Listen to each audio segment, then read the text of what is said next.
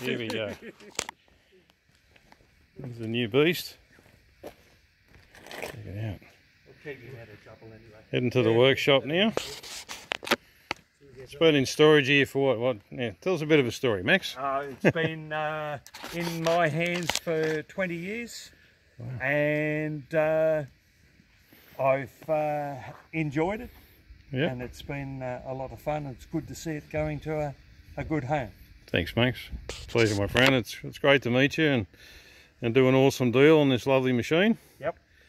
I'm going to um spend many years enjoying it. Very So- good. Cheers, mate. Look forward to seeing it go. And I'll be back to take you for a ride in it. Okay, cheers. There she is. It's what is about 72 Dnepr Russian outfit, yep, if I quoted correctly. yep. And an army green. Do a quick walk around here. Look at this. I'm a bit excited, guys.